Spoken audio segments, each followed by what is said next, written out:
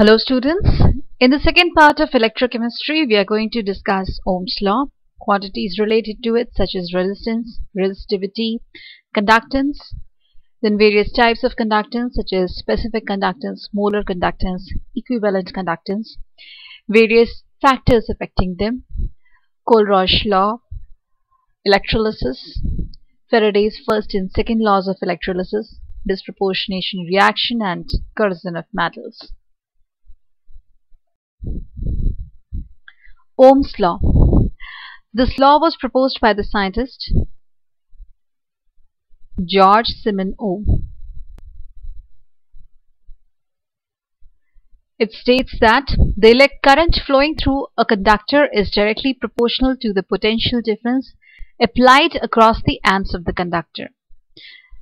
So mathematically, as per Ohm's law, we can write that I, that is the current, is proportional to V, that is the potential difference or the voltage.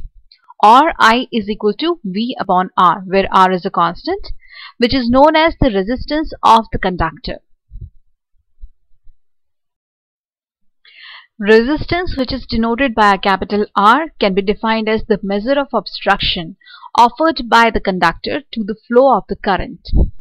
Mathematically, R is proportional to L by A, where L is the length of the conductor and capital A is the area of cross section of the conductor.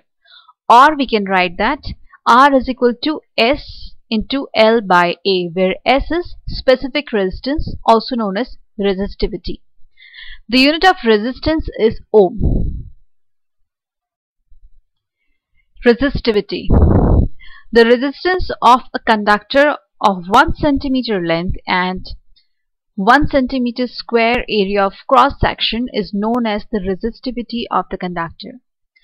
Mathematically, as we wrote in the previous equation, R is equal to S L upon A.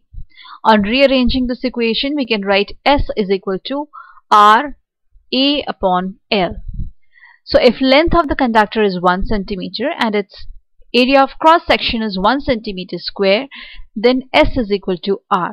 So we can say that the resistance of a conductor of 1 centimeter length and 1 centimeter square area of cross section is equal to its resistivity. The unit of resistivity is ohm centimeter. Conductance. The property of the conductor that facilitates the flow of the electricity through it is known as conductance of the conductor. It is denoted by capital G. It is reciprocal of resistance. Therefore, we can write that G is equal to 1 by capital R, which denotes resistance. The unit of conductance is ohm inverse or mho or Siemens, which is denoted by capital S. We know that the electrical conductance of metals is due to the movement of electrons in the metals. So the various factors that affect the electrical conductance of metals are the nature and structure of metals, the number of valence electrons per atom, the density of the metal and the temperature. The electrical conductance has been observed to decrease with increase in temperature in the metals. The next topic is the specific conductance, which is also known as conductivity and is denoted by LSP. It can be defined as the conductance of a solution taken in a cell in which the electrodes are at a unit distance from each other and have an area of 1 centimeter square. It is the reciprocal of specific resistance or resistivity. So we can write that LSP is equal to 1 upon S. Since we know that S is equal to RA divided by small l, where R is the resistance, A is the area of cross section, and L is the length of the conductor, we can write that LSP is equal to small l divided by RA.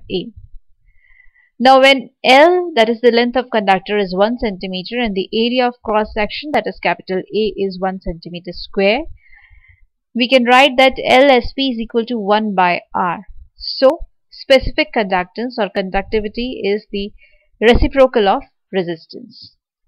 In case length is 1 centimeter and area of cross section of conductor is 1 centimeter square.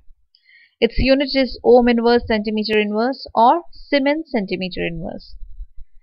Now this factor that is small a divided by capital L is known as the cell constant and is denoted by G star.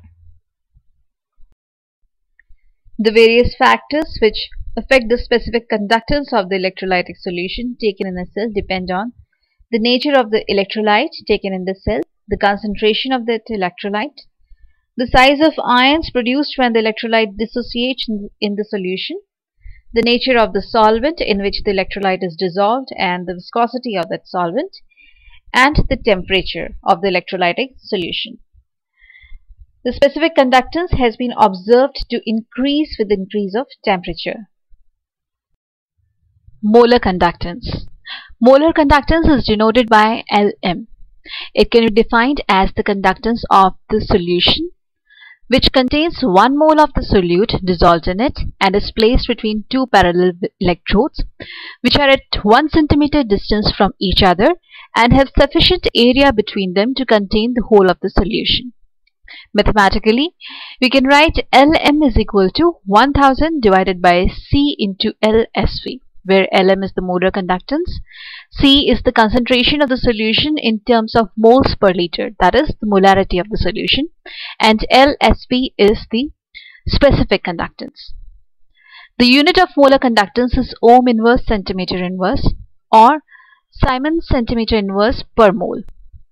Molar conductance can be also written as specific conductance into volume in cubic centimeter containing 1 mole of electrolyte. The next topic is equivalent conductance, which is represented by LEQ. The conductance of a volume of a solution which contains 1 gram equivalent of the solute dissolved in it and is placed between two parallel electrodes which are at a distance of 1 centimeter from each other and are large enough to contain the whole of the solution between them is known as equivalent conductance. Mathematically, we can write that equivalent conductance denoted by LEQ is equal to 1000 divided by C into LSP, where LEQ denotes the equivalent conductance, C is the concentration of the solution in gram equivalent per liter, or we can say the normality of the solution, and LSP denotes the specific conductance. The unit of equivalent conductance is ohm inverse centimeter square per equivalent or Siemens centimeter square per equivalent. In other words, we can also say that equivalent conductance is the product of specific conductance and the volume in cubic centimeter of the solution which contains one equivalent of the electrolyte as the solute.